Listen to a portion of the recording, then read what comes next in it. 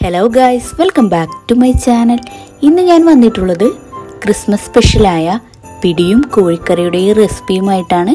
അപ്പം നമുക്ക് നേരെ വീഡിയോയിലേക്ക്.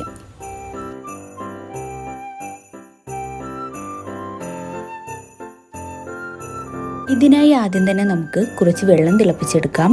അപ്പം ഞാനിവിടെ നാലര ഗ്ലാസ് വെള്ളമാണ് എടുത്തിരിക്കുന്നത്.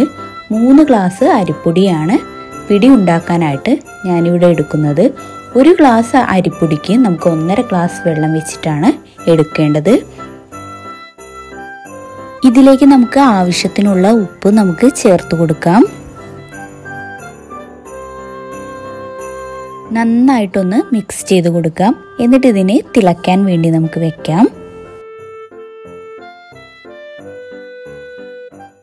അപ്പോൾ ഇതാ നന്നായിട്ട് തിളച്ച് വന്നിട്ടുണ്ട്. ഇനി ഇതിലേക്ക് നമുക്ക് അരിപ്പൊടി ചേർത്ത് കൊടുക്കാം. ഞാനിവിടെ മൂന്ന് ഗ്ലാസ് അരിപ്പൊടിയാണ് എടുക്കുന്നത്. ഇത് നമുക്ക് ഇതിലേക്ക് ചേർത്ത് കൊടുത്ത് നന്നായിട്ടൊന്ന് മിക്സ് ചെയ്ത് കൊടുക്കാം.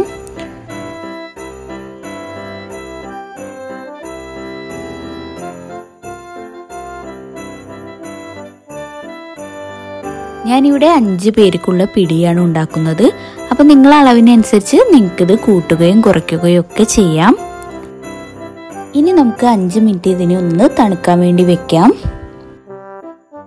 അഞ്ച് മിനിറ്റ് കഴിഞ്ഞിട്ടുണ്ട്. ഇനി നമുക്കിതിന് കുഞ്ഞു കുഞ്ഞു ഉരുളകളാക്കി കയ്യിൽ വെച്ച് ഒന്ന് ഉരുട്ടിയെടുക്കാം. നിങ്ങളെ അളവിനനുസരിച്ച് നിങ്ങൾക്ക് ഇതിന്റെ സൈസ് കൂട്ടുകയും കുറയ്ക്കുകയും ചെയ്യാം. ഞാൻ ഈ ഒരു സൈസിലാണ് ഇതിനെ ഉരുട്ടിയെടുക്കുന്നത്. അപ്പോൾ ഇതാ ഞാൻ എല്ലാം ഉരുട്ടി എടുത്തിട്ടുണ്ട്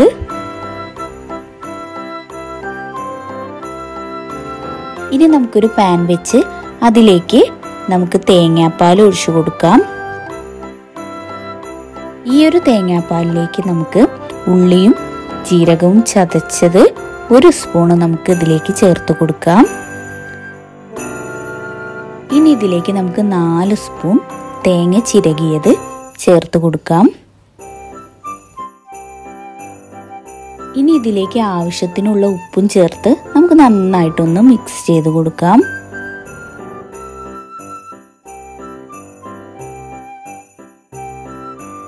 ഇനി നമുക്കിത് നന്നായിട്ട് തിളയ്ക്കാൻ വേണ്ടി വെക്കാം. അപ്പോൾ ഇതാ നന്നായിട്ട് തിളച്ച് വന്നിട്ടുണ്ട്.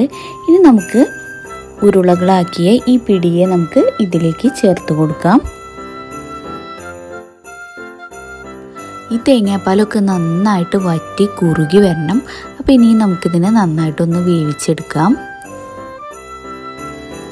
അപ്പോഴേക്കും നമുക്ക് കോഴിക്കറി ഉണ്ടാക്കിയെടുക്കാം.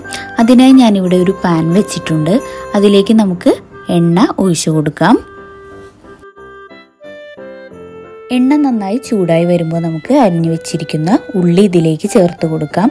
ഞാനിവിടെ ഒരു വലിയ ഉള്ളിയാണ് എടുത്തിരിക്കുന്നത്. ഇത് നന്നായിട്ടൊന്ന് മിക്സ് ചെയ്ത് കൊടുക്കാം. ഉള്ളിയുടെ പച്ചമണമൊക്കെ മാറുന്നത് വരെ നമുക്ക് നന്നായിട്ട് ഇതിനെ വഴറ്റിയെടുക്കണം. കുറഞ്ഞ ഫ്ലെയിമിൽ ഇട്ട് വേണം ഇതിനെ വഴറ്റാൻ വേണ്ടിയിട്ട്. ഇനി നമുക്കിതിലേക്ക് ഇഞ്ചി വെളുത്തുള്ളി ചതച്ചത് ചേർത്ത് കൊടുക്കാം. നന്നായിട്ടൊന്ന് മിക്സ് ചെയ്ത് കൊടുക്കാം. ഇഞ്ചിയുടെയും വെളുത്തുള്ളിയുടെയും ഉള്ളിയുടെയും ഒക്കെ പച്ചമണമൊക്കെ മാറി നന്നായിട്ട് വഴണ്ടി വന്ന് ഒരു ഗോൾഡൻ കളറാകുമ്പോൾ നമുക്കതിലേക്ക് തക്കാളി ചേർത്ത് കൊടുക്കാം. തക്കാളിയും നന്നായിട്ട് ഉടയുന്ന വരെ നമുക്ക് ഇതിനെ നന്നായിട്ട് മിക്സ് ചെയ്ത് കൊടുക്കാം. ഇനി ഇതിലേക്ക് നമുക്ക് കുറച്ച് കറിവേപ്പില കൂടി ചേർത്ത് കൊടുത്ത് നന്നായിട്ടൊന്ന് മിക്സ് ചെയ്യാം. ഉള്ളിയും തക്കാളിയും ഇഞ്ചിയും വെളുത്തുള്ളിയും ഒക്കെ നന്നായിട്ട് വഴണ്ടി വന്നിട്ടുണ്ട്. ഇനി ഇതിലേക്ക് നമുക്ക് അര ടീസ്പൂൺ മഞ്ഞൾപ്പൊടി രണ്ട് ടീസ്പൂൺ മുളക് പൊടി അര ടീസ്പൂൺ കുരുമുളക് പൊടി കാൽ ടീസ്പൂൺ ഗരം മസാല ഒരു ടീസ്പൂൺ ചിക്കൻ മസാലയും ചേർത്ത് നന്നായിട്ടൊന്ന് മിക്സ് ചെയ്ത് കൊടുക്കാം. ഈ മസാലകളുടെയൊക്കെ പച്ചമണം മാറുന്നത് വരെ നമുക്കിത് നന്നായിട്ടൊന്ന് മിക്സ് ചെയ്ത് കൊടുക്കാം. അപ്പോൾ ഇതിന്റെ പച്ചമണമൊക്കെ മാറിയിട്ടുണ്ട്. ഇനി ഇതിലേക്ക് നമുക്ക് കഴുകി വൃത്തിയാക്കി വെച്ചിരിക്കുന്ന ചിക്കൻ നമുക്കിതിലേക്ക് ചേർത്ത് കൊടുക്കാം.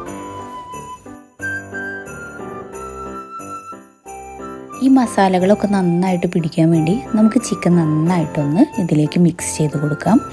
ഇനി ഇത് നമുക്കൊരു പത്ത് മിനിറ്റ് അടച്ച് വെച്ചിട്ട് വേവിച്ചെടുക്കാം.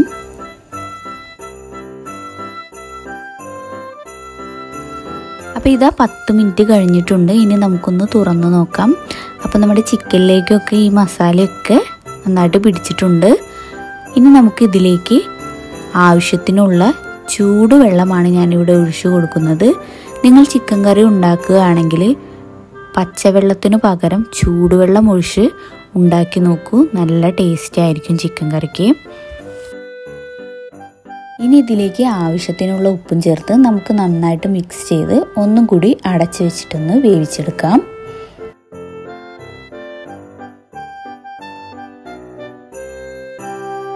അപ്പോഴേക്കും നമ്മുടെ പിടി എന്തായെന്ന് നോക്കാം.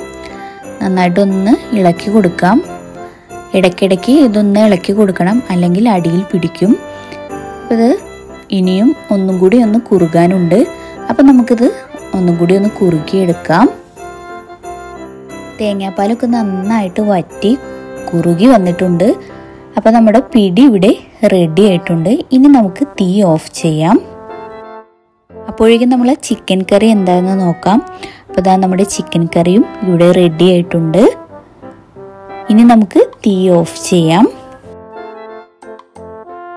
അപ്പോൾ ഇതാ നമ്മുടെ പിടി ഇവിടെ റെഡി ആയിട്ടുണ്ട്. ഇനി നമുക്കിതൊരു സെർവിങ് ഡിഷിലേക്ക് മാറ്റാം. അപ്പോൾ നമ്മുടെ ക്രിസ്മസ് സ്പെഷ്യലായ പിടിയും കോഴിക്കറിയും ഇവിടെ റെഡി ആയിട്ടുണ്ട്. അപ്പോൾ ഇനി നമുക്കിത് ഒരു സെർവിങ് ഡിഷിലേക്ക് മാറ്റിയെടുക്കാം. അപ്പോൾ നിങ്ങൾക്ക് ഈ വീഡിയോ ഇഷ്ടമായിട്ടുണ്ടെങ്കിൽ എല്ലാവരും ഒന്ന് ട്രൈ ചെയ്ത് നോക്കണം. വളരെ എളുപ്പത്തിൽ തയ്യാറാക്കാൻ പറ്റിയൊരു പിടി റെസിപ്പിയാണിത് കഴിക്കാനും നല്ല ടേസ്റ്റാണ്. എല്ലാവരും ഒന്ന് ട്രൈ ചെയ്ത് നോക്കണം. ഈ ഒരു വീഡിയോ നിങ്ങൾക്ക് ഇഷ്ടമായിട്ടുണ്ടെങ്കിൽ ലൈക്ക് ചെയ്യുക ഷെയർ ചെയ്യുക സബ്സ്ക്രൈബ് ചെയ്യുക.